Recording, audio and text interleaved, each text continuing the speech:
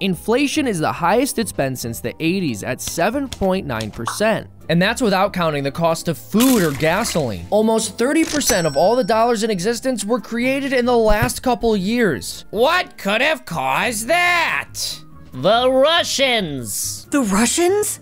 What? No, Ron, this began way before Putin invaded Ukraine. He's a Russian agent. This is why we need to ban them from our country. Huh? Thank goodness EA at least banned them from their FIFA video game. And that the International Cat Federation has banned all cats bred in Russia from competing. Your move, Putin.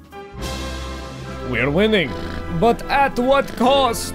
How can someone who calls everything racist be so okay with discriminating against all Russians because of their government? Hey, I don't call everything racist. Just you guys.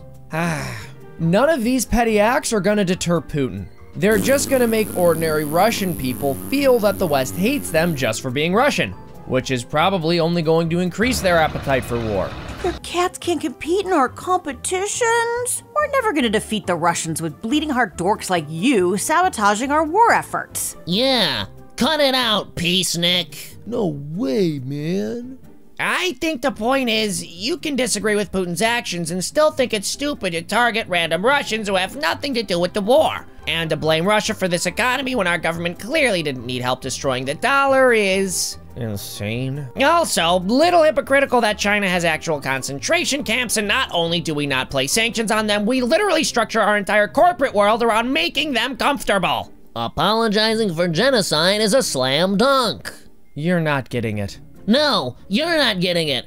This is just like World War II. And if you don't want to punish random Russian citizens for Putin's actions, you're the kind of person who would have sided with the Axis powers. Okay, so to be clear, if I don't want to blame an ethnic minority for rampant inflation, Then you're just like Hitler, yes. Thank you so much for watching. Please like, share, and subscribe to the channel. Also, check out the links in the description because we bring the receipts and leave a comment below. We'll see you on the next wonderful, exhilarating episode of Common Sense Soapbox. Check it out.